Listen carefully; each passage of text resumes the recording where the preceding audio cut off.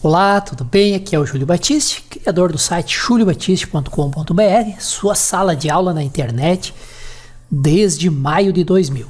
Mais uma parceria com o colega Manuel Jailton, criador do site mjailton.com.br, há mais de uma década na internet e criador de dezenas de cursos na área de programação, do Delphi ao PHP. O colega Jailton cedeu para nós mais esta série de videoaulas que são aulas de demonstração da nossa formação completa em JavaScript. Se você quiser todos os detalhes e um preço mais do que especial, quase inacreditável para essa formação, acesse esse link aqui. É uma formação com 263 videoaulas, mais de 20 horas de conteúdo e mais exercícios finais. Todo o conteúdo já está lá dentro do ambiente do curso. Então, se interessar, dá uma olhada nesse endereço aqui e vamos às nossas aulas de demonstração desta formação. Um excelente estudo a todos. Continuando então com o nosso curso de JavaScript, acredito que nesse ponto, né, você já deve estar imaginando, puxa, só tem teoria. Não, rapaz, te acalma que a gente ainda vai chegar lá na parte prática.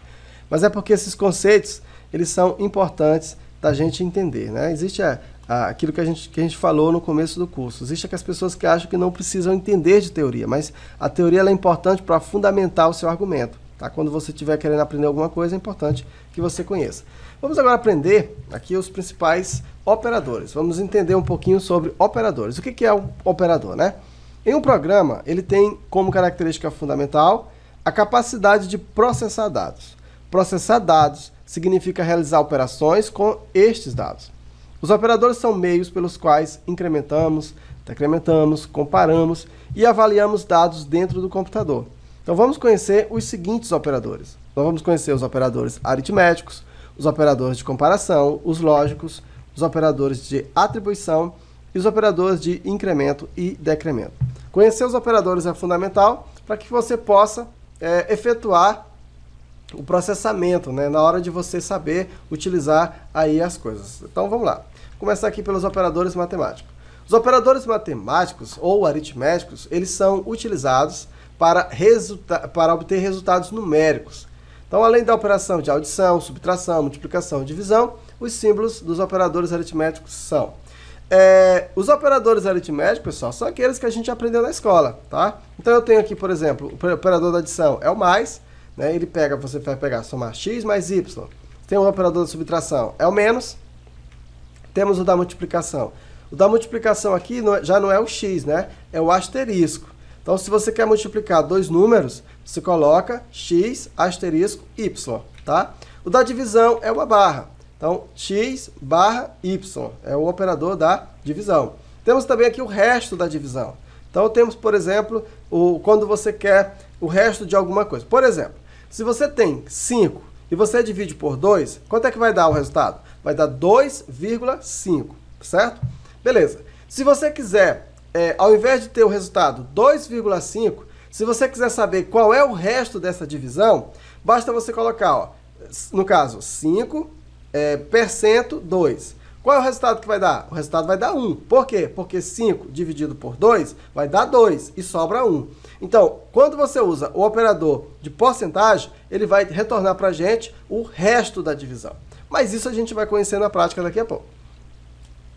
Ainda temos os operadores de atribuição. Atribuição é o termo utilizado para representar a colocação de um valor em uma variável. A variável que receberá a atribuição encontra-se sempre do lado esquerdo do operador e esta recebe um valor gerado pela expressão ou o operador que está à direita. Lembra de uma equação? Quando você tem uma equação, você tem sempre um resultado que está antes, um primeiro membro segundo membro, né? digamos assim. Então, o valor que está à esquerda né, é o nosso operador, tá? Fica no meio ali, vai atribuir um valor a outro.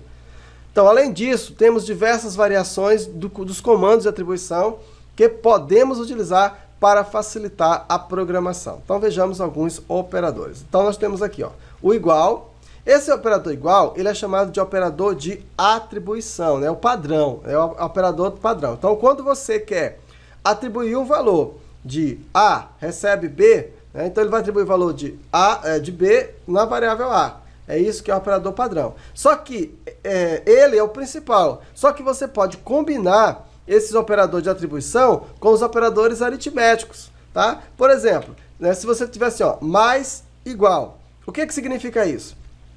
Significa o seguinte, que você vai que a variável A vai receber o valor da variável B, A, mais o valor da variável B. Para quem está iniciando na programação, às vezes esse conceito não é muito fácil você entender, às vezes fica confuso. Mas é assim, ó. Eu tenho a variável A, tá? E eu tenho a variável B. Então eu quero incrementar, eu quero que a variável A receba o valor da variável A, o valor atual, mais o valor da variável B. Então você utiliza esse operador aqui, tá? Eu tenho também o menos, ó, aí é o mesmo conceito, né? Você vai pegar o A, valor de A, menos o valor de B. Né? Nós temos o, multiplicação, a mesma coisa, é o mesmo princípio, tá? Não muda nadinha não. Só muda aqui o tipo de operador, certo? Então eu quero, pegar, eu quero pegar o valor de A e dividir pelo valor de B. Aí você utiliza isso aqui, ó. Ao invés de você repetir o valor de A, você pode usar isso aqui. Aí você diz assim, ué, mas isso aqui é só uma letra a mais? Em, alguns, em algum momento, né, isso aqui faz diferença. Bem, temos também os operadores de comparação. Então, também chamados de condicionais, né? são aqueles que executam comparações entre o valor de duas variáveis ou de uma variável e um texto uma variável e um número, né? ou uma variável e um número. Com eles, nós podemos testar, por exemplo, se uma variável possui um valor maior que a outra, ou se possui um valor menor que determinado número, ou se o retorno dado pela chamada é, de uma função é verdadeiro ou falso. Então vamos ver quais são esses valores. Então nós temos o operador de igual. Operador de igual, pessoal. Olha só, o igual aqui são duas, dois sinais de igual. Quando você usa só um, né, significa operador de atribuição. Mas quando você usa dois, significa um, que um é igual e o outro. Aliás, você usa dois sinais de igual. Então aqui você está fazendo a seguinte verificação. Você está verificando se A é igual a B. Né? Se isso aqui for verdadeiro, retorna verdadeiro. Aí diferente. O diferente você coloca uma exclamação igual a B. Aí você está dizendo, verificando, né? Se A é diferente de B. Se A for diferente de B, retorna verdadeiro. Menor que, aí é o sinal de menor que, A menor que B. Maior que, A maior que B. Ou menor ou igual, então menor ou igual a B. Ou maior ou igual, maior ou igual a B. E aí nós temos também um operador interessante, que é chamado de operador de identidade. Ou seja, é, são três igualdades. E o que, que ele faz? Qual é a diferença dele para o primeiro lá? A diferença é o seguinte, nesse caso, ele vai verificar se os valores são iguais e se as, se as duas variáveis elas são do mesmo tipo, tá? Aí você pergunta, você, mas como que é possível? Né? Para elas serem iguais, elas têm que ser no mesmo tipo. Não necessariamente. Se você tiver uma string com o valor 2 e você tiver um, um, um valor numérico com o valor 2, elas, essas, essas duas variáveis, elas podem ter o mesmo valor, mas elas não são do mesmo tipo. Então, é, se você precisa realmente verificar se essas variáveis são do mesmo tipo né, e elas têm o mesmo valor, ou seja, se elas são realmente iguais, aí você usa o operador de, de identidade. E aí, no caso, você tem o outro que se é estritamente não igual. Né? Nesse caso, ele verifica se é, do mesmo, se é do mesmo tipo e tem valor diferente. Tá? Então, aí nós vimos os operadores de comparação. Para finalizar, nós temos ainda os operadores de incremento e os operadores de decremento. O operador de incremento aumenta o operador em 1 o operador de decremento diminui o operando em 1. Quais são eles? O mais mais A né, é o pré-incremento, o A mais mais é o pós-incremento. Qual é a diferença de um para outro? É o seguinte, o pré-incremento, quando você vai utilizar ele, né, primeiro ele incrementa e depois ele, ele atribui o valor. Então, primeiro você, ele incrementa aquele valor e depois ele atribui. O pós-incremento é diferente. Primeiro ele retorna, ou seja, primeiro ele atribui o valor àquela variável e somente depois é que ele faz o incremento. Mas entender isso aí mesmo é na prática. A gente vai entender na próxima aula né, o, o, o, o como isso aí funciona, tá bom? Temos também o I menos menos, que é o pré-decremento, e o A menos menos, que é o pós-decremento, que é o mesmo sentido. Primeiro, no primeiro pré-decremento, primeiro ele decrementa e depois ele atribui. No segundo, ele atribui primeiro e depois ele decrementa. Beleza, né? Então conhecemos aqui de forma teórica os principais operadores e agora é hora da gente conhecer isso de forma prática. Vamos lá então? Então vamos lá.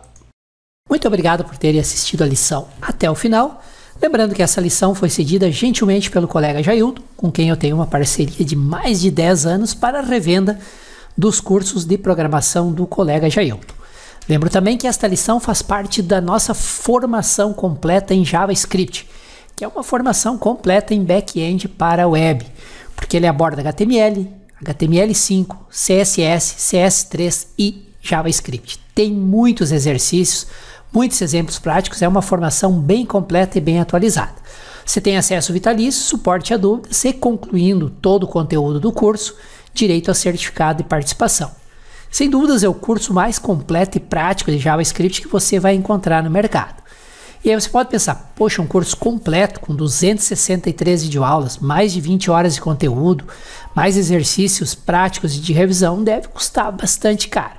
E aí você vai se surpreender eu preparei para você que me acompanha aqui no canal do YouTube e somente através deste endereço aqui, uma promoção que beira o inacreditável.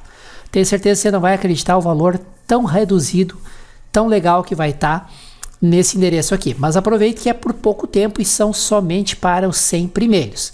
Então, se você acessar esse endereço e o botão de inscrição estiver ativo, é porque ainda tem vagas no valor promocional, tá legal? Aguardo vocês lá dentro do ambiente do curso, tenho certeza que vocês vão aprender muito e numa área cada vez mais promissora, onde faltam profissionais que realmente dominam JavaScript, HTML5 e CSS 3. Inscreva-se aqui no canal, tem um botãozinho inscrever-se vermelho aí, fazendo a inscrição vocês vão ser avisados em primeira mão sempre que o um novo vídeo for publicado. Se tiverem dúvidas, está dando erro em algum exemplo que vocês estão seguindo, críticas, sugestões e, por que não, elogios, usem por gentileza o campo comentário que está aqui abaixo do vídeo. E me ajudem a divulgar esse conteúdo, esta série de videoaulas, passando o endereço do vídeo para seus amigos, colegas, conhecidos, compartilhando nas redes sociais. Quanto mais vocês compartilham, quanto mais acesso, mais lições eu trago para compartilhar aqui com vocês, tá legal? Um excelente estudo a todos e muito, muito obrigado mesmo por terem acompanhado essa lição até o final e até a nossa próxima lição.